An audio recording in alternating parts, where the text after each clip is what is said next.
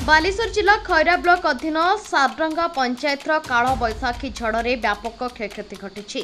ହଠାତ୍ ପବନର ବେଗ ଏତେ ଜୋରରେ ଥିଲା ଯେ ଗଛ ଉପୁଡ଼ି ପଡ଼ିଥିବା ବେଳେ ଘରର ଛପର ମଧ୍ୟ ଉଡ଼ିଯାଇଥିଲା ସାରଡାଙ୍ଗ ପଞ୍ଚାୟତର ହରନ ବାବି ଗାଁର ଦୟାନିଧି ପୃଷ୍ଟିଙ୍କ ଦୋକାନ ଗୃହର ଆଜବେଷ୍ଟ ଉଡ଼ିଯାଇ ଦୋକାନରେ ଥିବା ଜିନିଷପତ୍ର ନଷ୍ଟ ହୋଇଯାଇଥିବା ଏବଂ ସେ ଗ୍ରାମର ଦିବ୍ୟଜ୍ୟୋତି ଲେଙ୍କାଙ୍କର ନୂଆ ଘରର ଛାତ ପଡ଼ିବା ପାଇଁ ସେଣ୍ଟ୍ରିଂ ଓ ରଡ୍ ବାଇଣ୍ଡିଂ କରି ସାରିଯାଇଥିବା ବେଳେ ପବନର ବେଗ ବଢ଼ିଯାଇଥିବା ଯୋଗୁଁ ବନ୍ଧା ଯାଇଥିବା ରଡ୍ ପିଞ୍ଜରାକୁ ଉଡ଼ାଇ ଘରଠୁ ଖଣ୍ଡେ ଦୂରରେ ପକାଇଥିଲା।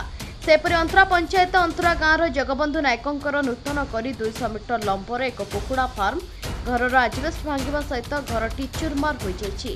ଏ ଆନୁମାନିକ ଲକ୍ଷାଧିକ ଟଙ୍କାର କ୍ଷୟକ୍ଷତି ହୋଇଥିବା ଘର ମାଲିକ ଜଗବନ୍ଧୁ କହିଥିବା ବେଳେ ସରକାରଙ୍କଠାରେ ସହାୟତା ପାଇବାକୁ ଗୁହାରି କରିଛନ୍ତି। ବାଲେଶ୍ୱର ସିମୁଳିଆରୁ ଆନନ୍ଦ କୁମାର ବେହେରାଙ୍କ ରିପୋର୍ଟ ସକାଳ ଖବର